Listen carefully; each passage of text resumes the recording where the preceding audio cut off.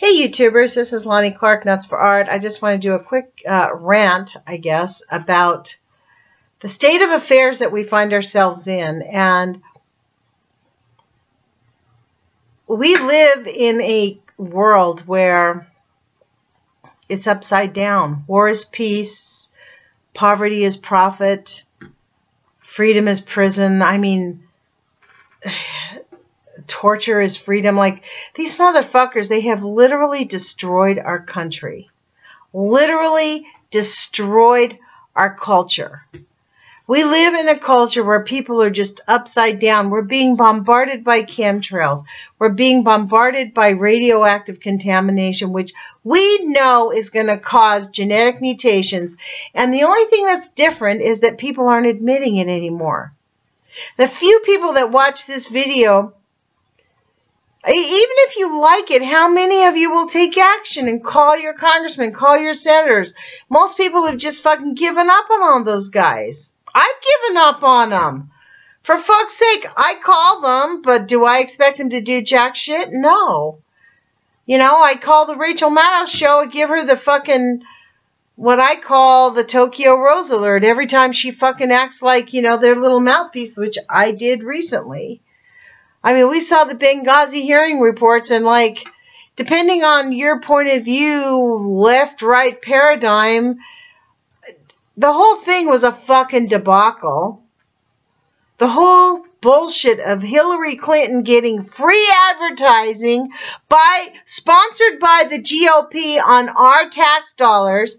Hillary Clinton gets free advertising on, oh, I'm such a strong woman.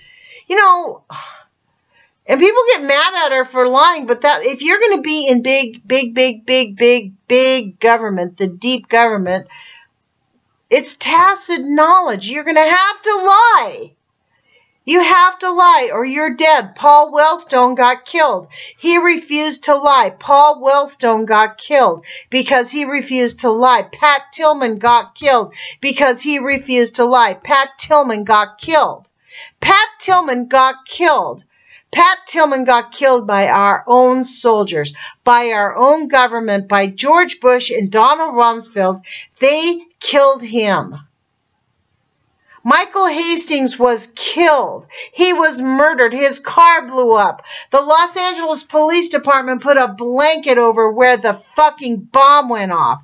And we're supposed to all pretend the emperor has no fucking clothes while six million Americans are drinking uranium tainted water. Not one times, not two times, 89 times over the contamination limit. Six million people are drinking uranium tainted water 89 times over the contamination limit. We know that. That's what's being tracked by the University of Illinois. We know that. Is anybody in those states taking action against the EPA about the nuclear industry, demanding accountability out of the nuclear industry?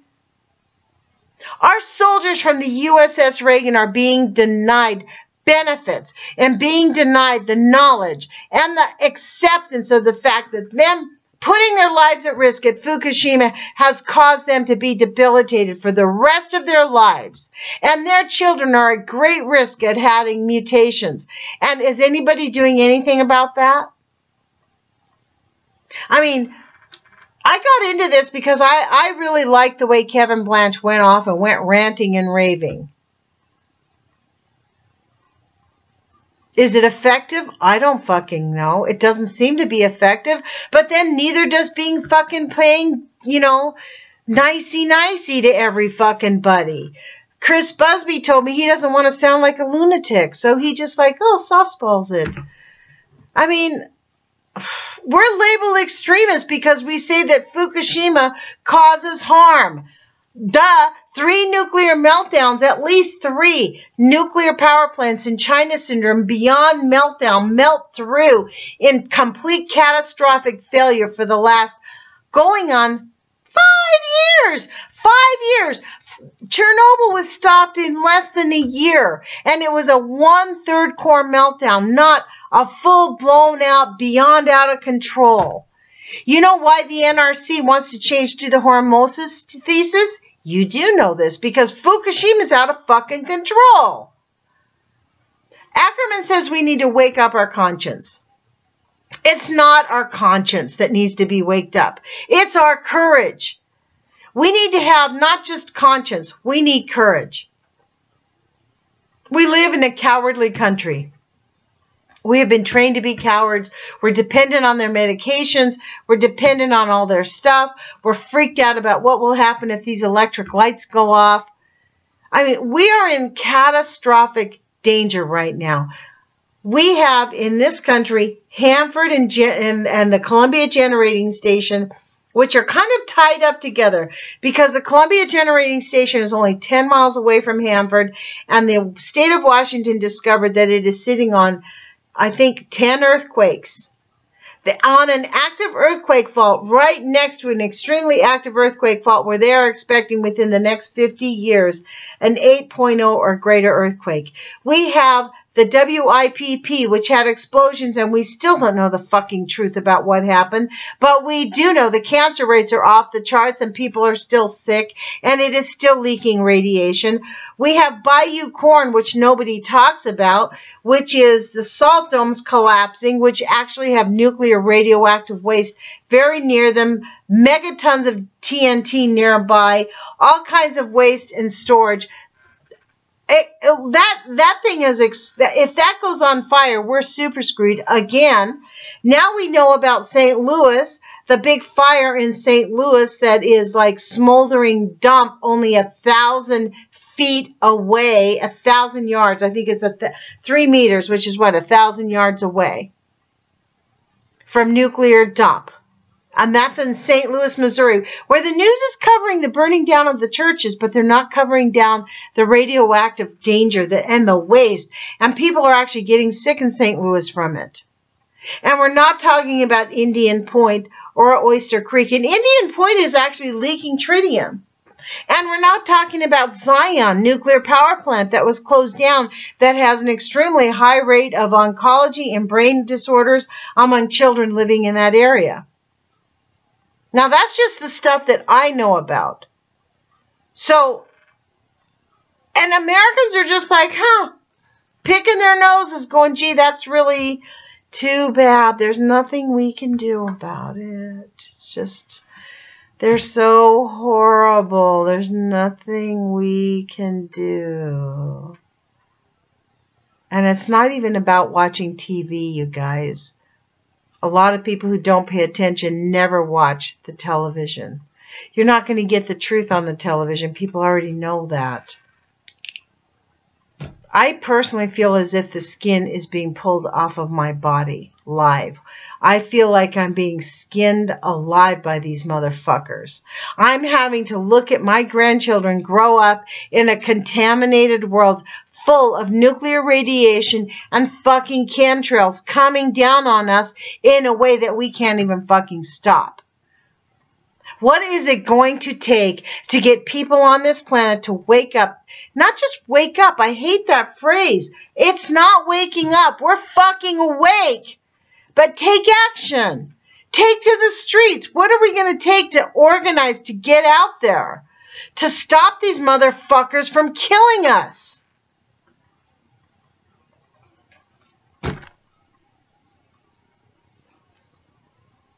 I don't know. I honestly don't know. You know, Dana Durnford's been out this since Fukushima happened day one. He was studying depleted uranium beforehand. Miss Milky the Clown has been after this since day one. Kevin Blanch was after this from day one. Chris Busby after this from day one. Arnie Gundersen knew exactly what he was softballing from day one. Helen Caldicott was mortified and didn't dare speak the truth that she knew was happening. She was sticking to quote scientific facts, but she knew. In fact, she knows exactly what's happening. They know exactly what's happening. We're fucking being killed. Our species, our planet is being wiped off the map. Our countries, our governments, everything is going to be going away because these fucking motherfucking greedy bastards believe that we are useless feeders. I don't know what it's going to take, you guys. And I don't know how to resolve this. But frankly, anybody that has an idea, please contact me because I know what I think we need to do. We need to organize. This is what I thought we were doing with the Post Ignorance Project. I want us to form a massive group of millions of people, millions and millions of people who are communicating of the same mind and going to fucking park ourselves on government buildings and going, no, you stupid motherfuckers, you're not going to legislate us into extinction, you rat bastards. No. Enough of the profit only motives. We have to be thinking about humanity and life on this planet and living together and creating cultures that actually create a dynamic planet.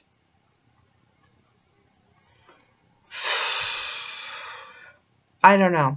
I guess I'll end here. I look at I see I'm at 11 minutes, but I'm going to post this up.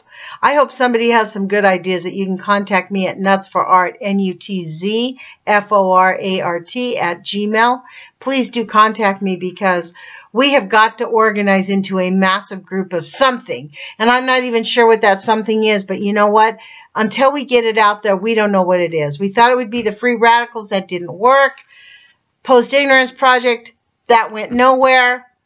I mean, we need to formulate something, you guys. We need millions and millions, not just 10,000. We need millions of people to understand that we are fucking being killed by the oligarchs and by the capitalists and by the people who think that profit over people is a good idea and that the rich people deserve everything because they're rich. And after all, that's their bloodlines. And if they weren't rich, then God, and if they weren't the best people, God wouldn't have graced them with all their profit.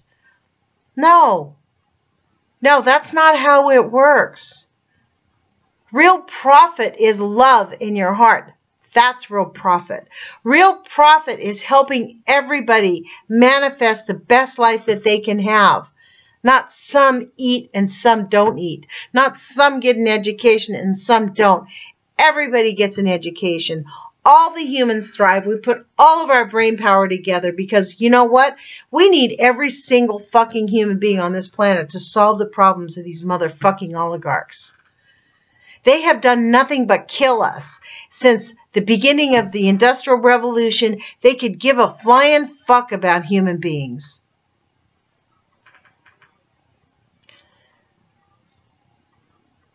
I don't know. I am nonplussed, but I will tell you what, you guys, put your courage feet on, put your armor on, put your everything on that you can put on. You know, get an education. Start reading, start understanding. Look at the political system. Don't just like regurgitate blah, blah, blah. You know, the problem with that, though, I will tell you what, you know why people don't like to do it? Because it takes you away from your religion. When you start getting an education, you start realizing that religion is about controlling women, children, and men. And that's it. It has nothing to do with the Godhead.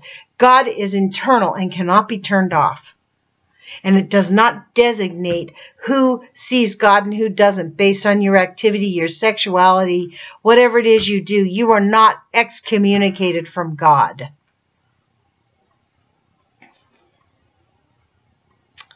We are on the edge of extinction, you guys. And in the meantime, we're just sitting there watching the fucking chemtrails come day after day, drinking our tainted uranium water, going, hmm, I wonder if this is going to kill us. Yes, it's going to kill us and it's going to make us extinct. That's what it's going to do unless we take action. And we need to take action.